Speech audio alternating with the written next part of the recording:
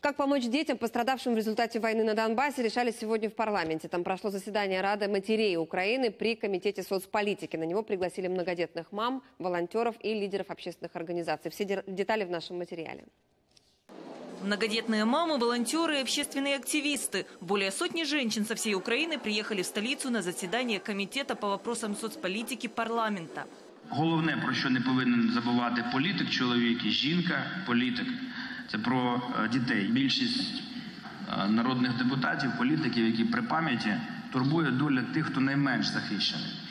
Це діти переселенців. 250 тысяч детей бежали от войны с Донбасса за последние четыре года. Теперь вместе с родителями у них другие проблемы. Отсутствие жилья и мизерная соцпомощь. Самое важное и главное собрание, которое сегодня есть в нашей стране, это собрание женщин, мам, которые не благодаря, а вопреки всем тем условиям, которые есть в стране, рожают, воспитывают, поддерживают своих детей. И тем самым они и проявляют самый настоящий патриотизм. Все дети нуждаются в защите, а дети из оккупированной части Донбасса требуют особого внимания и поддержки, уверен лидер оппозиционного блока. Юрий Бойко поддержал постановление, направленное на защиту семей, пострадавших из-за войны.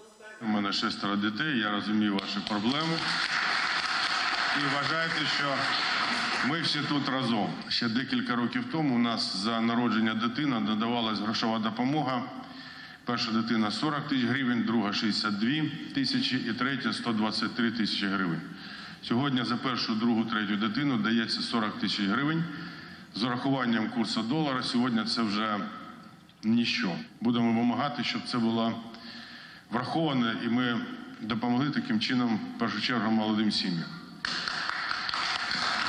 Нардепы также отметили, что необходимо решить вопрос соцзащиты и поддержки детей, проживающих на Донбассе, и детей-переселенцев. Соответствующее обращение отправили премьеру и спикеру парламента.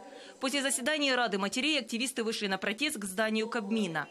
Женщины готовы пойти на радикальные действия, чтобы заставить власти принять необходимые решения.